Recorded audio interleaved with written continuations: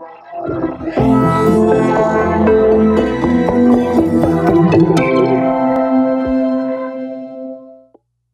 don't have to tell you all this that COVID increases stress from all of these very important things. Being cooped up, having altered daily routines, the financial changes and pressures, having incredible social isolation, the fears of, for you as a caregiver about getting COVID, but also perhaps if you have a loved one with dementia, the fears about that person needing to be hospitalized for any reason but you not being able to be with them at the hospital. And are they going to be able to take care of themselves, telling what's going on? There can be problems about uncertainty about the future. We all can be stressed by information overload with rumors and misinformation. There can be children now at home, lack of exercise, increased substance abuse, the fear of violence. And everything is indeed magnified right now. And there can be a sense that there's no place to go. And so it is a time now, more than ever, to work hard to improve communication, to work hard on the skills to minimize escalating anger, to reduce expectations, to work together to become care partners to learn and practice stress reduction techniques like you will soon. This is a time for hope. And I don't think there's any other couple um, that has demonstrated how to become care partners, how to work really, really hard together, and to try to maintain hope for everyone than uh, Kim and Mike Adamle. And so Kim is going to um, be our next participant here, along with Mike. Kim uh, is an educational consultant and family educator and coach. She's a school psychologist. She trains graduate school psychology students. For 10 years, she was assistant professor, an assistant professor, and also uh, directed the Center for Learning at National Louis University where she was a family educator, facilitated parent groups, and provided training to school psychology students. And indeed, she is the wife and care partner of former NFL player and broadcaster great Mike Adamle, who is living with suspected CTE. And as you may have picked up earlier, today is Kim and Mike's 25th wedding anniversary. um, together with Mike, uh, Kim uh, founded and is now executive director of the Mike Adamle Project Rise Above, which is a program of the Concussion Legacy Foundation to provide patients and families living with symptoms of CTE with the tools, resources, a supportive community, and indeed, hope.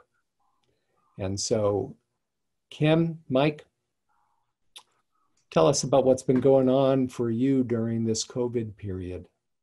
Hey, well, hi, Dr. Bob. So good to see you, and we're so happy to have everyone here and have this opportunity to um, to talk and support one another. And happy anniversary, baby!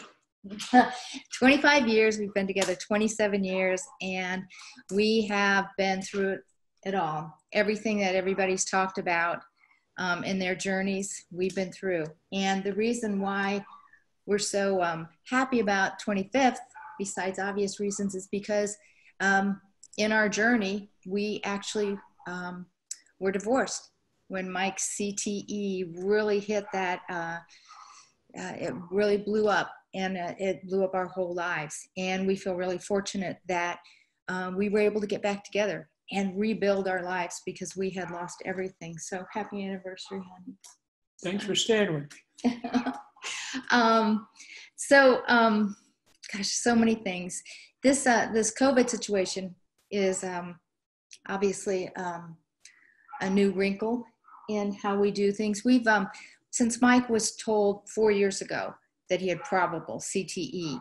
Uh, we have worked really hard, like you said. We put together you know, this whole lifestyle program for Mike. We found the best treaters. We found some great um, innovative therapies um, that that are working well for him. And now with the the quarantine, with COVID nineteen, obviously we're we're stuck at home like a lot of people. Um, so no therapies for Mike. He can't see his friends. Unlike a lot of the people who suffer, um, like Jerry, who tends to isolate. Mike is the other end of the spectrum. He needs and thrives on social interaction, and without it, he he withers. So obviously, we don't have that, um, at least not in person. Um, our other situation that is added to um,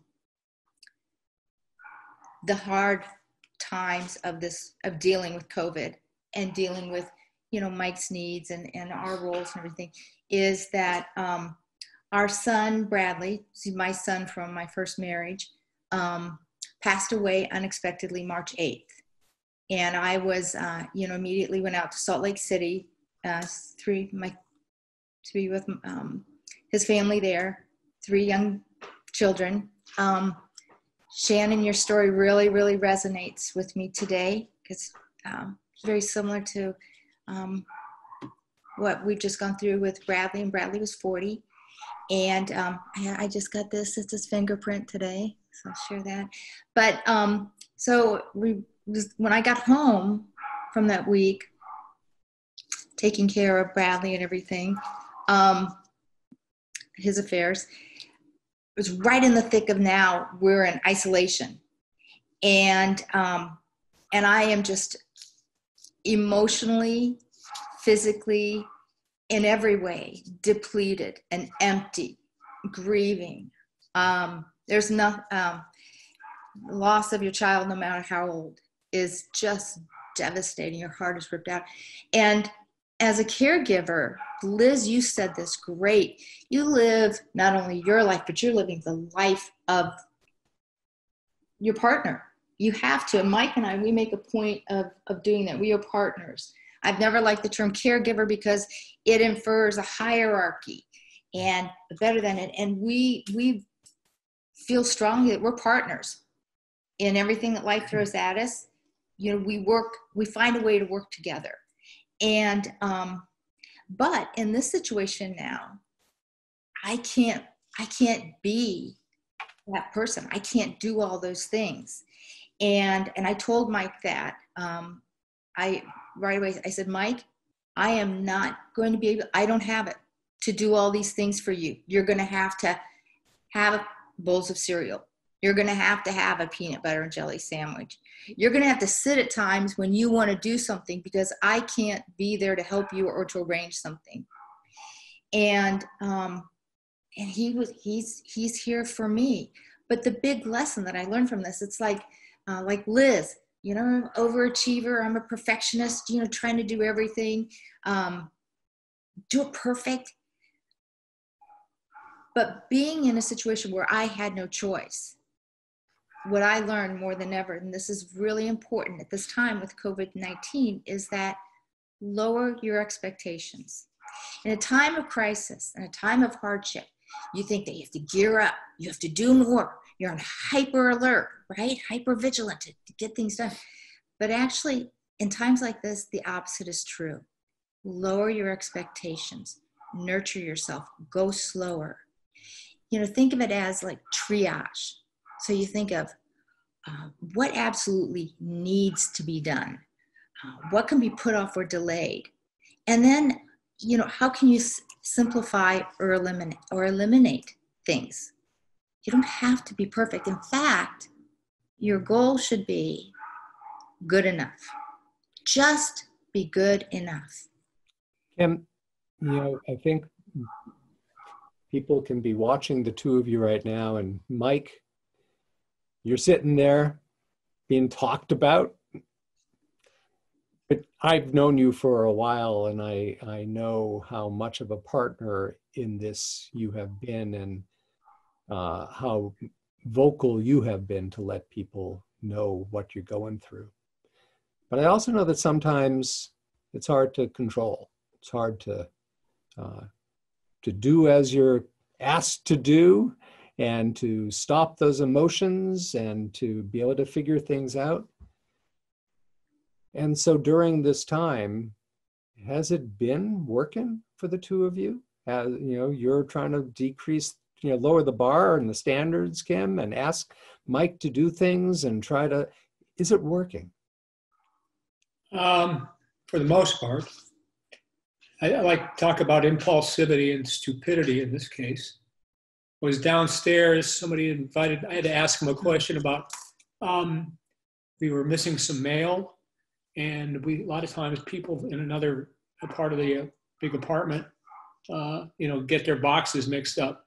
And so I, I went to the people door and, and um, asked if they had picked our box up by mistake. And before you know it, I was talking to six people in a room all by myself, and 20 minutes went by. And she came down. I felt about this big, and I should have been because I, I can't, I was just too stupid. You weren't too stupid. You were being, you were doing what, what just happened. He, he was caught up in the moment. He's a social guy, and they they invited him in, and, and he went in, and I was like, Mike, he's an at risk category for a number of reasons age, he's got a neurodegenerative disease, but he's also got a heart condition. So we worked hard at really be, you know, isolating, and, and we were like, we were in the clear. And then he goes into it, you know, I'm like, oh, Mike. So, you know, the consequence was he had to sleep in a separate room for a week. But anyhow, but we, we lived through that. We lived through that what else can you share with the viewers to um, perhaps help them through this time right now?